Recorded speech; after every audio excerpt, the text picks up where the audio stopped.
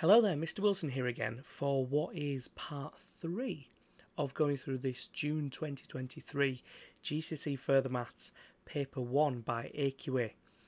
Now, just before we get into this video, um, I had a look on the like analytics for the, the channel and over 90% of people who watch these videos are not subscribed, which is really weird because if you're watching these videos, you're obviously interested in, you know, wanting to get better at maths, and it's just strange that you you might miss out on on new videos and, and new content, lessons and paper explanations on the the level of maths that you are studying.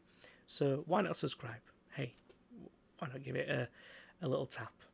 Anyhow, let's um, jump into this part because we've got up to question seven last time. So in this part, we're going to start on question 8. So a circle has centre 0, 0 and radius of 5. A straight line has equation 2y equals x plus 5. Work out the coordinates of the two points where the circle and the, li- the straight line intersect. Do not use trial and improvement. You must show your working. A very aggressive do not use trial and improvement. So obviously we're not going to be allowed to just kind of randomly sub in points in the hope that we'll find um, a pair of coordinates that will work for, for this. Well, first thing to note is that a circle that has centre 0, 0 and radius of 5 has the equation x squared plus y squared is equal to 25 because the general equation is x squared plus y squared is equal to r squared where r is the radius if it's centered 0 0 which it is in this case so basically, we're asked to solve when these two equations are equal to each other. So we're almost solving simultaneously, so to speak, right? Because we want to know the points of intersection. And if two um, kind of curves or equations intersect, then we basically solve for, for when, they, when they're equal to each other, almost. So the way that we're going to do this is by what we call by substitution, right? What you do is you make the vari- one of the variables the same, um, and then you sub it into the other one. So let me explain. Let's say I take this straight line, right? And so it's 2y is equal to x plus 5. And I want to make this not x but x squared. So what I'm going to do is I'm going to take away 5 from both sides. So we get 2y take away 5 is equal to x. So that means if I square both sides, I get 2y take away 5 all squared is equal to x squared. Well, that's, you might say, why have I done that? Well, if you look at the equation of a circle, remember I wanted to make, kind of sub into another one. I want to make these equations almost equal to each other in some way.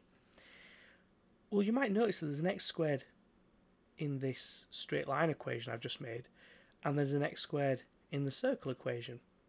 So what I can do is I can sub in this 2y take away 5 all squared in place of this x squared, right? So basically, instead of writing x squared plus y squared equals 25, I can write 2y take away 5 all squared plus y squared is equal to 25. So I've subbed out the x squared for 2y take away 5 all squared because I know it's equal to x squared. I've just worked it out. It's equal to x squared. And we call this by substitution. You basically sub in uh, a variable in placement of another variable. The reason why I've done this is because now I've got an equation that's just got y's in it, so I can solve for y. Originally, you couldn't solve because you've got two different variables.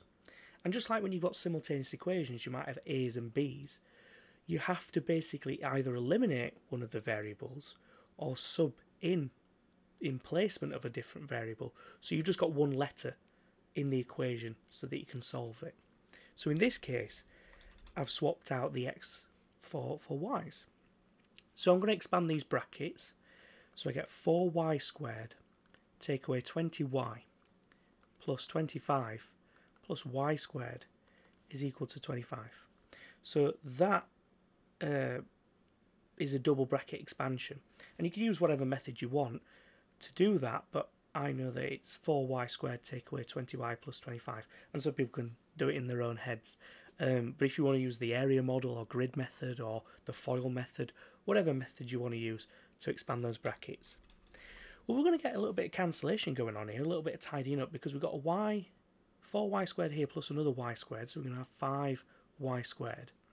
Take away 20y, but then we've got a plus 25 uh, on both sides basically, so we can take 25 away from both sides, and we're just left with nothing, no 25 on the left, and this being equal to 0. So now we can factorise out the, we can now factorise to, to solve the equation. So we can factorise out 5y, brackets, y take away 4 is equal to 0. So what this means is something times something is equal to 0. Now the only way you can ever multiply two things and get 0 is if one of those things is equal to 0. So either this term here is equal to 0 or this expression here is equal to 0. If 5y is equal to 0, so that could be one example, well then y has got to be equal to 0 because 5 times 0 is 0. So y has to be 0. If y take away 4 is equal to 0, so the other option, then y has got to be equal to 4. So now we've worked out both of the y coordinates for our points of intersection. So in order to find the full coordinate then we need the x coordinate as well, don't we? Well we can just go back to our original uh, straight line equation. So we know that 2y is equal to x plus 5. So again you have two options, don't you? Either y is equal to 0 or y is equal to 4. Well if y is equal to 0, 2 times 0 is 0 and that's equal to x plus 5. So x has got to be equal to minus 5. So that's one coordinate, minus 5, 0 has got to be an option. Remember, make sure we get the coordinates the right way around. It'd be such a disaster to do all this wonderful mathematics and then get the coordinate the wrong way around right at the very end. So remember it, x then y. Um, and then if we, the other option is that y is equal to 4. So 2y is 8, and that's equal to x plus 5. So x has got to be equal to 3. So the other option is that the coordinate is 3, 4. And these are our two points of intersection. Now, just before I talk through an alternate method, how could we check our answer? Well, we could sub them into the circle equation to make sure that x squared plus y squared is equal to 25. Well, minus 5 squared is 25 plus 0 squared is going to be 25 isn't it so this coordinate works and then 3 squared is 9 plus 4 squared is 16 and that is equal to 25 as well because it's actually the three, four, five right angle triangle. Um, and I always love when Pythagoras' theorem comes up in unusual places and this would be an example of that. Um, so this coordinate works as well. Now, just to talk through an alternative method then, will I rearrange for x and I saw I kind of squared this and swapped out x squared for y. But you could have rearranged for y and swapped out the, the y squared for an x squared basically. So the alternative would be to rearrange this for y so you get y is equal to a half x plus 5 over 2 because you divide by 2 and so therefore y squared is equal to a half x plus 5 over 2 all squared and then you could have swapped out this y squared for the half x plus 5 over 2 squared now, the reason why I didn't do that, and you might notice very quickly why I didn't do that, is because that just looks horrible and nasty. And why would you ever, why would you ever torture yourself with um, trying to expand this when you could alternatively expand this? Now, arguably, it's not necessarily any trickier. You've just got to be careful of the fractions, but I mean, a good mathematician will will kind of make the question easy for themselves. So if there's two different ways of doing it, then why not go for the way that is easier but still gets you the right answer? Now, if you do it this way, you'll solve for x first, then you'll have to sub in to find y. Whereas with the original one that I did, you solved for y first, and then you had to sub in to find x. So if you swap the other one out, you basically solve for the other one first, um, is the point I'm trying to get at. But like I said, this is not necessarily more difficult as such. You've just got to be careful of the fractions when you expand the, the double brackets. Um, and then you have to do a little bit of tinkering, like multiplying by 4 to get rid of the fractions. It, it, it's more work than what it needs to be, whereas you could just do it the way that I did it originally. I mean, if you had time, you could do it this way to check your answer if you were, I don't know, maybe a little bit crazy, but um, hey ho. Right then, let's move on because I think we've we've talked about that that question enough. Rearrange w is equal to y squared plus 5 over y squared take 2 to make y the subject of the formula. Well, first job we need to multiply by the denominator. So we get w brackets y squared take away 2 is equal to y squared plus 5.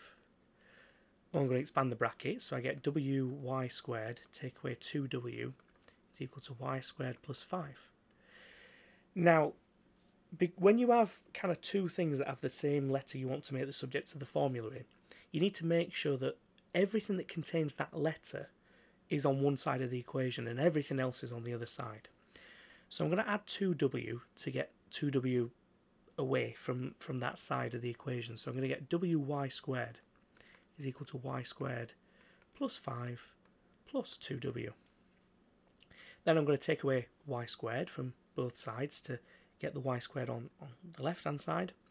So we get wy squared take away y squared is equal to 5 plus 2w. And this is a very common technique, this in GCSE Further Maths. When you've got two uh, terms that have the letter that you want to make the subject in, you factorise that thing out of a single pair of brackets. So you get y squared brackets w take away 1 is equal to 5 plus 2w. And then if you want that letter on its own, you basically divide by that whole bracket. So you get y squared is equal to 5 plus 2w all over w take 1. And we want to make y the subject, not y squared. So to make y the subject, you just square root both sides. So y is equal to the square root of 5 plus 2w all over w take away 1.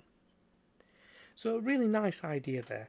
I mean, I've not really seen many that have this y squared in, so you have to square root at the end.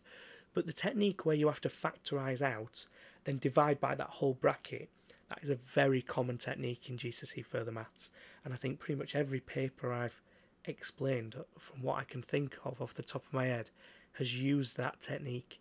So it is an absolute must that you that you know that when you have two terms that have the letter that you want to make the subject of the formula, you factorize that out first and then divide by that whole bracket to get that letter on its own. And in the, this case, we have to square root as well to make y the subject. But usually, for most questions, when you've divided by that whole bracket, you've got the just the letter on its own. Okay, I'm gonna leave it there for this part because we spent loads of time on that that question eight, and then spent very little time on question nine. But question eight deserved that attention because it was a really good question, um, especially for a question eight in a in a paper. You would expect that maybe to be a bit, little bit later later on. So can't wait to see what's at the end of this paper. If you haven't already, definitely check out all the other videos. And if you've stayed to the end, I mean, congratulations to you for listening to me talk about maths for 15 minutes. But um, but yeah, I really enjoy maths, and hopefully that that comes across in in these videos. Um, if you haven't already, look at all the other uh, videos on the channel and subscribe if you if you haven't. Um, and all I want to say is thank you so much for watching, and I hope you have a fantastic day.